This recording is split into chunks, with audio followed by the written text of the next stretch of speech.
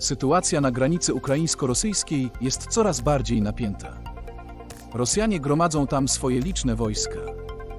Jak wyliczają eksperci, przy granicach Ukrainy i na tymczasowo okupowanych ukraińskich terytoriach Rosja zgromadziła ponad 94 tysięcy żołnierzy. Grupa rosyjskich wojsk na granicy z Ukrainą. Niepokojące nagranie. Do mediów społecznościowych trafiło kolejne nagranie z zachodnich regionów Rosji. Widać na nim grupę rosyjskich wojskowych, którzy przemieszczają się wzdłuż granicy z Ukrainą. Autor nagrania, najprawdopodobniej rosyjski żołnierz, komentuje, że tak wygląda powrót z ćwiczeń. Wojskowi nie ukrywają swojego zachwytu z powodu tego, że jest ich tam tak dużo. Nie widać ani początku, ani końca. Komentuje zachwycony autor nagrania. Terroryści atakują ukraińskie siły. Mimo obowiązujących w regionach przygranicznych postanowień protokołu mińskiego o zawieszeniu broni rosyjskie siły nadal mają atakować ukraińskich żołnierzy.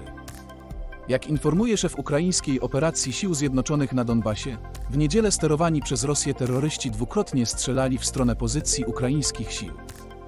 Niedaleko Nowozwanówki mieli strzelać z artylerii kalibru 122 mm, a w kierunku Swietłodarska z karabinów maszynowych dużego kalibru. Ukraińscy obrońcy na to od razu zareagowali. Nikt na szczęście nie zginął. Sytuacja jest niezbyt krytyczna. Sekretarz Rady Narodowego Bezpieczeństwa i Obrony Ukrainy uspokaja i nazywa sytuację niezbyt krytyczną. Zdaniem Oleksija Daniłowa Rada kontroluje przemieszczanie się Rosji na granicy. Doskonale rozumiemy, co znajduje się na odległości 200 km od naszej granicy. Wyraźnie zdajemy sobie sprawę z tego, że w odległości do 400 km od naszej granicy jest duża grupa rosyjskich wojsk. Wiemy, jaka jest ich liczebność, wiemy w co są wyposażeni, powiedział Daniłow w wywiadzie dla portalu Apostrof. Wcześniej parlament Ukrainy zatwierdził ustawę, która pozwala zagranicznym wojskom, w tym wojskom NATO, na udział w ćwiczeniach militarnych na jej terytorium. Ukraina planuje przeprowadzenie 10 dużych ćwiczeń wojskowych w przyszłym roku. Zobacz także, trzeba być przygotowanym na najgorsze?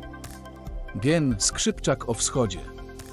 Masz newsa, zdjęcie lub filmik. Prześlij nam przez dziejesie.wp.pl